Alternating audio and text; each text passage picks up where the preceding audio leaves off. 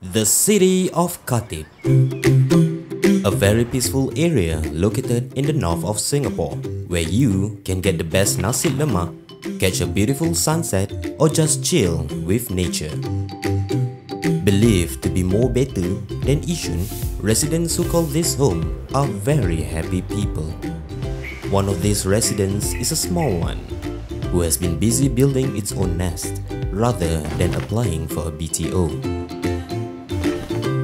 After all, they are expecting.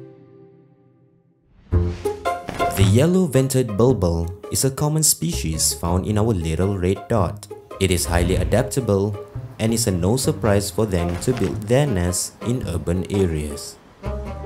In just less than 10 days, the eggs hatched.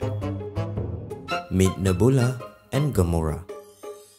Baby birds are blind, naked, helpless, and cannot maintain a steady warm body temperature. It is vital for Mama and Papa Bulbul to take care of them in their early days. Mama and Papa Bulbul took turns to feed. The little ones were fed with berries and small fruits. They take some insects and lizards. Oh wow, that's a big one. That is what they do every single day. Makan, makan, and makan.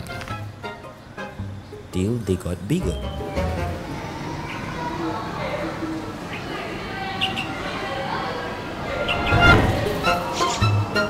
Oh, did I mention? Their parents can literally handle their shit.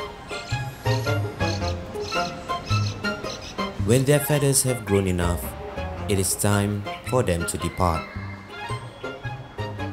They hop out of their nest, slowly exploring the environment around them. Nebula makes the first move, and just like that, she fledged. Gamora was a bit more anxious. She tried flying into the house instead.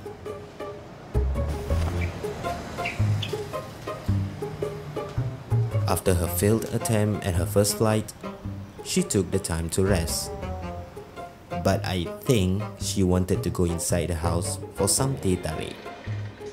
Mama and Papa Bulbul came by to motivate her to try again. After much encouragement, Gamora fledged. Goodbye, little one. The world is yours to explore.